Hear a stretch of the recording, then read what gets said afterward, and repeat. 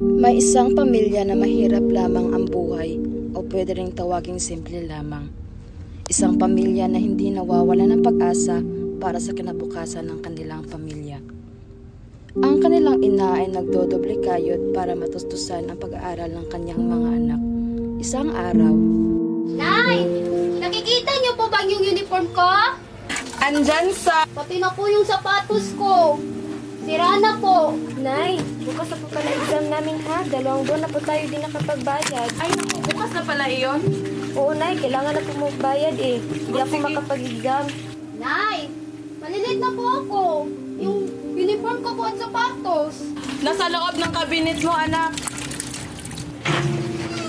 Oh, ayan na pala ang tatay nyo, anak. Ipaayos mo na ang sapatos mo. At para makapasok ka na, maaga pa naman.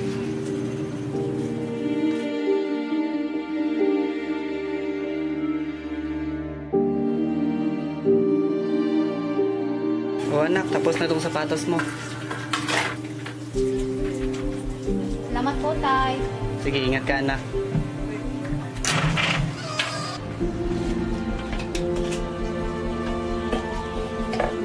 Mahal, paano ba yan? Wala pa akong pera. Sa susunod na linggo pa yung sahod ko. Bukas na pala ang exam ng anak natin. Tapos yung sapatos ni Ibon, sirang-sira na. Mag-iisang taon na yon wala, wala pa tayong pabili ng bago. Kanina ka pa walang kibo dyan, Mahala. Okay ka lang ba? Mainit ka, Mahala. May lagnat ka ata.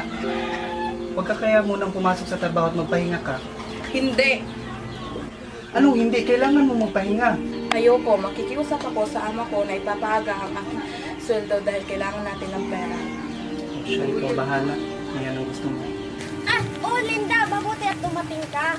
Eh, si Inday, day off niya, eh, walang, walang tao sa bahay. Aalis kami ang anak ko, tapos walang magbabantay. Sige po, ma'am, pero meron sana akong sasabihin. Oh, ano yun? Ipapaaga ko sana ang sweldo ko dahil exam ng mga anak ko at kahit marami kaming bayarin at ang sweldo ng aking asawa ay sa susunod na linggo pa. Nako naman, Linda, alam mo naman ang hirap ng buhay ngayon. Eh, wala akong pera. Kahit na maliit na mahalaga, mahalaga lang po, o siya, sige. Meron ako isang libo dito. Pero babaya, ikakaltas ko to sa ano mo ha? Sa susunod na sweldo. Opo, ma'am. O siya, dito. Alis na kami ha. Maglinis. Mami, let's go! Oh, wait lang anak, tara. Sige na, maglinis ka sa bahay. Sige po, ma'am.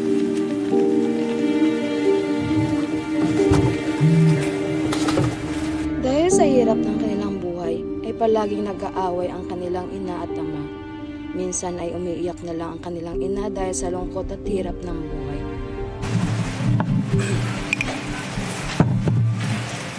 Salamat, pre. Pre, nag-gym ka ba, pre? Hindi pre, nagtrabaho lang ako sa factory. Kaya pala, ang laki ng katawan mo, ha?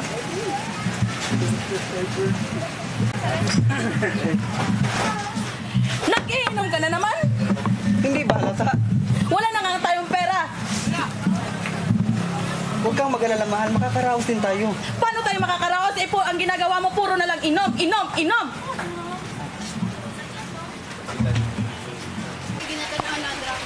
Linda, teka! Bakit ka ba nagagalit? Sino bang hindi magagalit? Puro ka na lang inom, wala ka na ibang ginawa. Patawarin mo na ako, hindi na mauulit. Yan tayo sa pangako mo, pero paulit-ulit lang na nangyayari ito. Nay, tay, bakit yung nagsisigawan? Tingnan nyo nga oh, pinag-usapan na tayo ng mga tao. Linda! Mahal!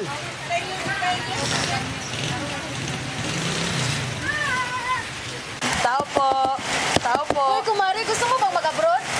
Balita ko, naghihirap na yung pamilya nyo. Doon sa ibang bansa, paganda ng paganda ang buhay. May agency ako, mari kita ipasok doon. Ito ang numero ko, pag-isipan mo. Salamat, Maria. Tatanawin ko itong malaking utang na loob sa iyo. Hanggang sa isang araw, napagpasyahan ng kanilang ina ng mga ibang bansa upang mabigyan sila ng mas magandang kinabukasan.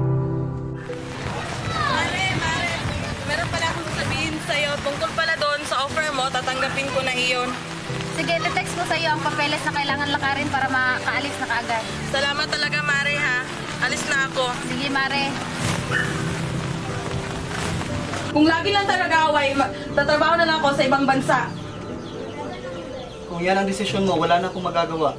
Nay, ano kami iwan? Para na kapatid ko, walang mag-aalaga sa amin. Nandyan naman ang tatay nyo. Nay, wag yun na po kami iniwan, Nay. Para ito sa kabutihan ninyong anak at sa kinabukasan ninyo. Huwag ka na lang umalis, mahal. Buo ng desisyon ko at alis na ako sa susunod na linggo.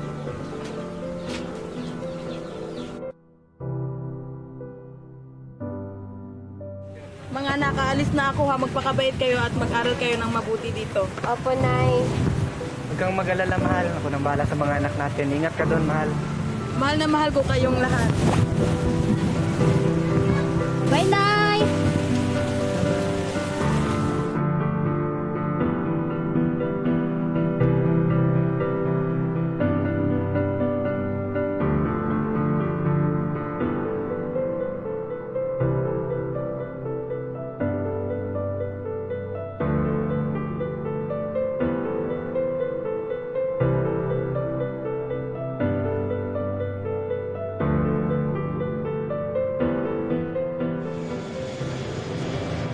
Simula nang umalis ang kanilang ina, ay tila mas naging mahirap ang sitwasyon nilang magkakapatid.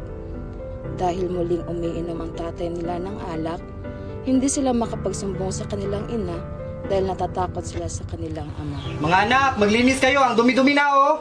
Mamaya na, Tay. May gagawin mo na kaming aralin sa eskwelahan. Ah, basta maglinis kayo dahil meron tayong bisita. Sino po, Tay? Huwag nang madaming tanong. Makikita nyo rin mamaya. Tao po. Sino yan?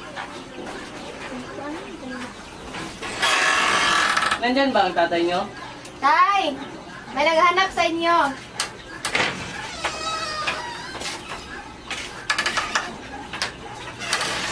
Uy, pre, andyan ka na pala. Pasok ka, pasok. Mga anak, ito nga pala ang Tito Bernard nyo. Sino siya, Tay? Bakit may dalang anak? Huwag na maraming tanong. Ipaganda nyo na lang kami ng makakain.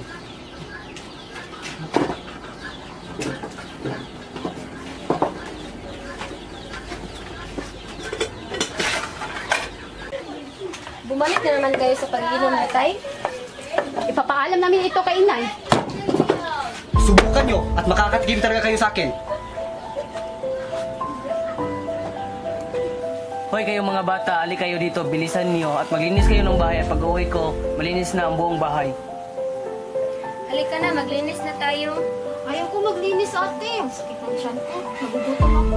Yan din kasi, ang tigas ng ulo mo, hindi ka nakikinig sa akin. Pasensya na po, ate. Sige na, maglinis na tayo pagkatapos ay kakain na.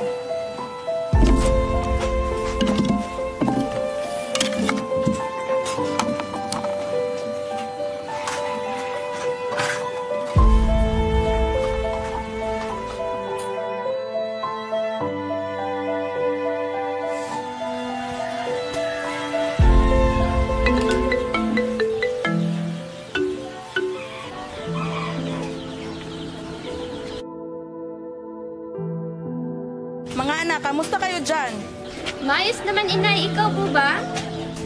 Mayos naman, magpakabait kayo dyan at mag-aral kayo ng mabuti. Opo, Nay. Nasaan palang kapatid mo? Nandito po. Anak, kamusta ka? Maayos lang po, Inay. Mabuti naman. Sige na mga anak, paalam na, tinatawag na ako ng amo ko. Sige, Inay. Mag-ingat ka. Mahal na mahal ka namin.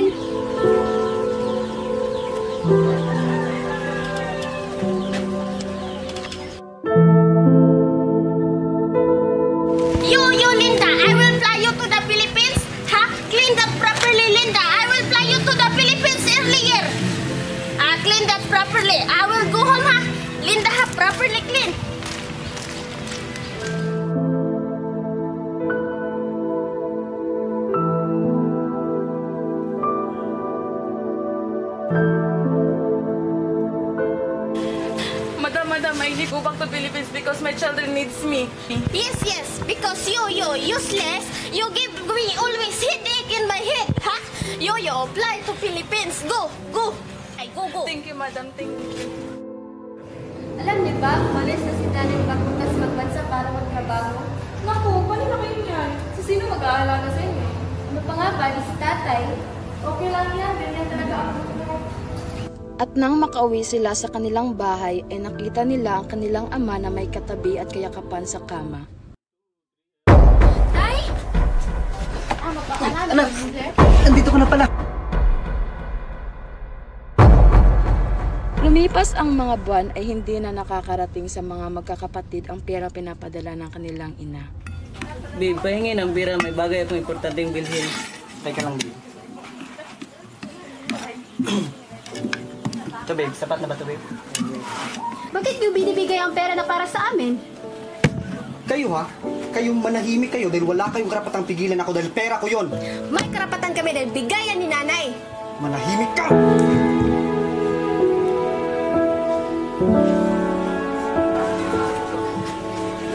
Hoy, kayong mga bata. Huwag niyong pagsisigawan yung tatay niyo. Mga wala kayong modo. Ikaw ang walang mudo. Ang kapal naman ang mukha mo, kabit ka lang ng tatay ko. Asawa. Kabit nga ako, pero mahal naman ako ng tatay niyo. Mahal niyo, tatay? Hindi niyo na mahal si nanay? Hindi na dahil simula nung pinili niya ang pag-iibang bansa, wala nang pagmamahal ko sa inyo. Hindi niyo ba naaalala na pumunta sa ibang bansa si nanay pero meron tayong makain dito? Tama na! Ayoko nang marinig mga dahilan nyo.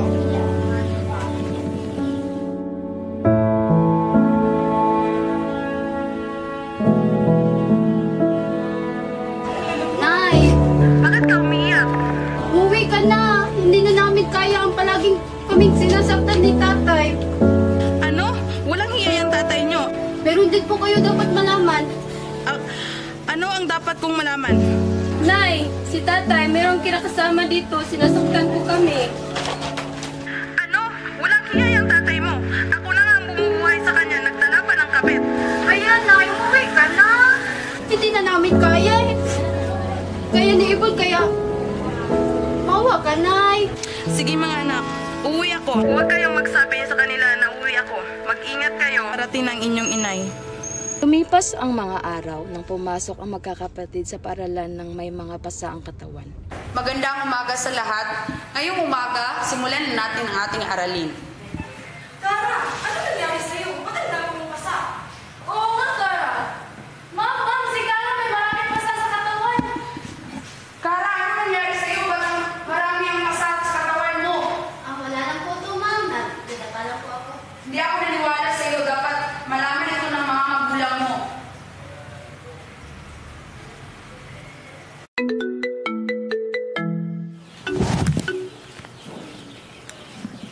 Hello? Magandang umaga po. Ah, magandang umaga rin po, ma'am. Ano po may tutulong ko, ma'am? Gusto ko lang pong tanungin kung anong nangyari kay Kara dyan sa inyo. Marami po kasi siyang pasa sa kanyang katawan. Naku po, ma'am. Pasensya na po kayo pero hindi hindi ko po kasi alam eh. Abala po kasi ako sa aking pagtatrabaho. Yun lang po. Gusto ko lang pong tanungin kung anong nangyari kay Kara. Ah, sige po, ma'am. Tatang tatanungin ko na lang po si Kara pagdating niya mamaya. Kara! Kara! Bakit po, tay? Sa susunod na ipapatawag pa ako sa paralan yung malilintikan ka na talaga sa akin. Ano po kasalanan ko? Eh, wala naman po akong ginagawa. Anong wala? Sa susunod, buwan ka kasing tatanga-tanga. Tay, bakit mo sinasigaw si Kara? Isa ka pa, walang kwenta. Sumusobra naman po kayo, tay. Wala na nga kaming ginagawa kundi maging mabuting anak sa inyo. Ano pa? Hindi ka na po ba kami anak? Huwag na huwag mo akong pagsasalitaan ng ganyan dahil anak lang kita. Tatay mo pa rin ako. Yun na nga eh. Tatay ka namin. Magpakaama ka sa amin. Simula nung nag-abroad na si nanay, nagkaganyan na kayo.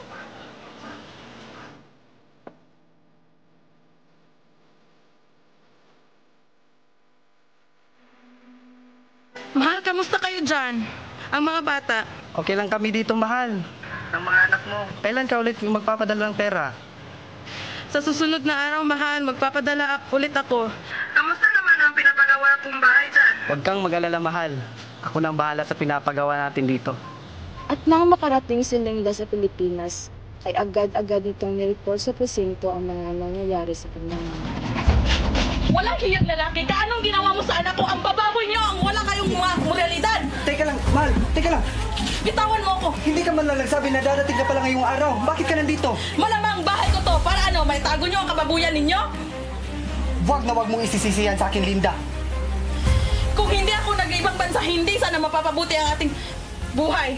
Kung hindi ka sana umalis dito sa pamamahay na ito, hindi sana tayo bumabot sa ganito. Eh di kung sana, nagpakaama ka, nagpakalalaki ka, naghanap ka ng sarili mong trabaho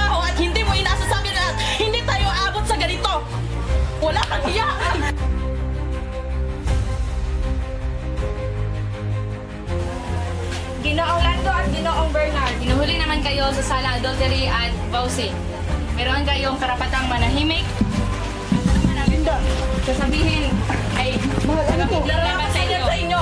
Mahal, patawarin mo ako, mahal. Hindi ko na uulitin. Mahal, patawarin mo ako, mahal. Hindi ko na uulitin, mahal. Mahal! Pasensya mga anak, hindi ko kayo naprotektahan. Okay lang po yun, inay. Ang importante po ay nandito na po kayo. Pangako, hindi ko na kayo iwan ulit.